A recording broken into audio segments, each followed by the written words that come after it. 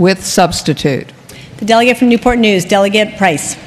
Madam Speaker, I move the substitute. Shall the committee substitute be agreed to? All those in favor say aye. All those opposed? The committee substitute is agreed to. Delegate Price. Thank you, Madam Speaker and members. House Bill 198, in the case of a tie and a recount, provides that if the court finds that each party to the recount has received equal number of votes, it shall issue a writ promptly ordering a special election be held to determine which candidate is elected to office. So, in essence, House Bill 198 would allow for the choice of elected leader to lie not with luck, but with the people. I hope it would be the pleasure of the body to engross the bill and pass it on to its third reading. Shall the bill be engrossed and passed on to its third reading? All those in favor say aye. All those opposed? The bill is engrossed and passed on to its third reading. Page 86, House